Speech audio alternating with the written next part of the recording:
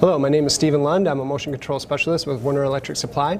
I'm here to talk to you today about setting up a Stratix switch for motion control applications. So Typically, when you buy a, Stratix switch and you install it in your cabinet, it's uh, out of the box, it's set up as an unmanaged switch. You're not going to get all the features that come along with it. So basically, what you need to do is do an express setup and also enable PTP functionality. Fundamentally, what the PTP function does, is that it gives you the ability for the PLC and the servo drives to transmit to each other with time synchronization data encapsulated into the data packet. So the combination of the quality of service and the PTP is going to give you the functionality that you need to be able to do high performance motion applications, which can reduce jitter on the network and can improve uh, highly precise and highly dynamic applications so that you can do on-the-fly cutting in, in, a very responsive way and accurate way. So fundamentally, it, it's very simple. I'm going to show you how to do it. You're just going to do a, a couple of steps and you can be ready to go. So let's just start it off. So I have this uh, Stratix 5700 switch, that's the one I'm going to show you today. And I'm just going to do a, a straight up uh, hard reset to defaults uh, procedure. So there, you'll see like there's a little express setup button here and I just have a safety pin. Uh, and I'm just going to stick it in there until I can actually see this setup button blink in alternation between green and red. It'll take about 8 to 10 seconds.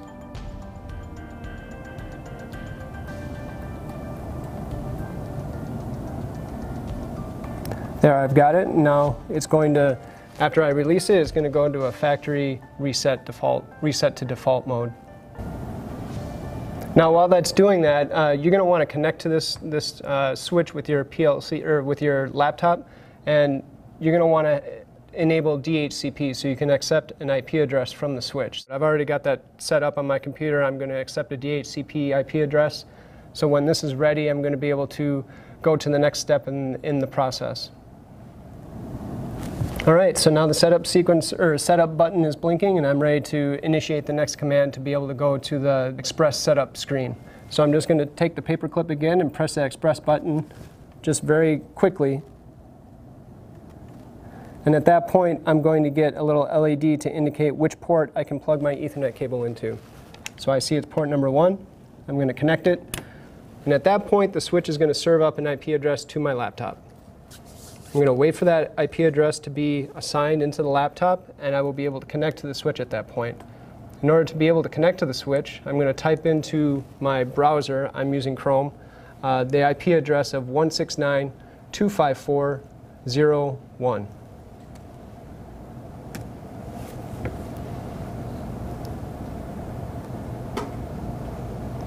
Now it's going to pop up with a login. Uh, your username is going to be blank, and your password is going to be switch.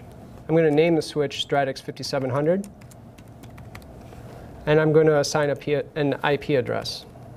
I'm going to do the 192.168.1 domain. I'm just going to enter that in. Pretty simple. I'm going to click Submit. It's going to take that setting, and it's going to move on to the next step. Now please bear in mind some of these steps take a little while to load because you basically have a Rockwell or Allen Bradley front end script that's running and you also have a Cisco backend that's in the back of the switch that's also running. So it takes a little bit for these two worlds to reconcile each other and move on to the next step. I'm going to click refresh on the browser just to kind of help it along a little bit. And it looks like it didn't like that, so I'm going to do it again. And you might run into this yourself, so don't be discouraged.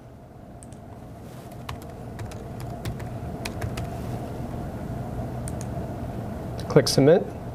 And now, now I can see why that didn't work. Uh, password and confirm password can't be empty, so it shows that I need to have all of these entries filled in. I'm going to put in just admin for everything and click Submit. Looks like I'm on the right track right now. It's going to take those settings, it's going to enter them in, and it's going to load the next page. At this point, what I need to do is I need to enable smart port, uh, smart port roles, uh, smart port definitions, and also enable PTP in order be able to use this in a motion application. So I'm going to go to Configure. I'm going to go on Smart Ports.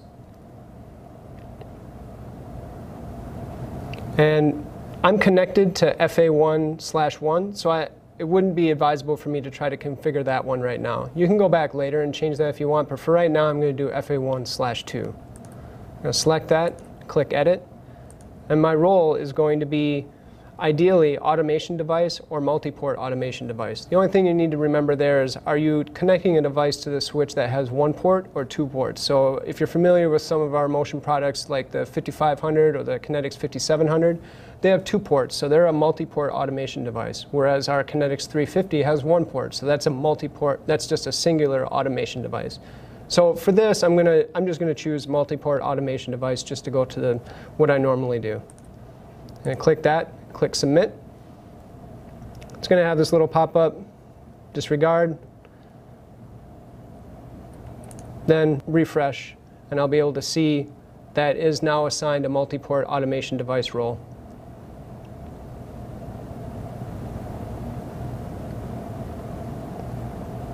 Going to go back to smart ports. And look, see now you can see port 2 is a multi-port automation device. So that's good.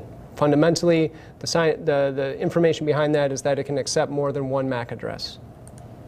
Now I'm going to go to PTP. This is the precision time protocol that I was talking about. See, now the default setting is forward, so that's bad. What that means is that uh, the traffic is going to come into the switch and it's going to take that time synchronization data that's been presented to it and it's not going to acknowledge it. It's just going to forward it on and it's not going to acknowledge its position within the network. So you could definitely have a situation where you have uh, a large topology for your network and if you have them all set to forward, by the time that that data comes from the PLC and goes to the servo, servo and comes back, all of that PTP data was just forwarded on and it wasn't reconciled. So then you're going to have some variation and that can propagate in some jitter on the machine. So what I want to do typically for 90% of applications is just to set this to uh, end-to-end -end transparent.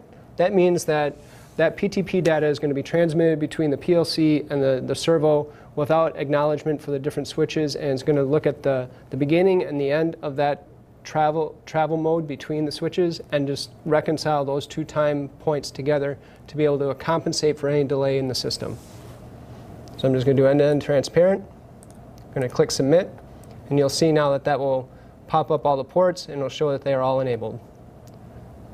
Click submit and I'm done. PTP is now enabled on this switch. One more thing you could do is go to port settings and ensure that the switch, the, the switch ports that you have devices connected to are set up to an auto duplex for your speed. So for instance, if I wanted to go check port 2, one that I had enabled before, I would click port 2, click edit, look and see, yep, my speed is uh, set to auto and my duplex is set to auto. So fundamentally, when that protocol is initiated upon startup, whatever device is connected to that port uh, and that port and another port with each other, when they negotiate their speed together, they're going to go to the maximum possible speed that's possible. So fundamentally, I am done. I have enabled my smart port roles, I've configured my port settings, and I've enabled PTP.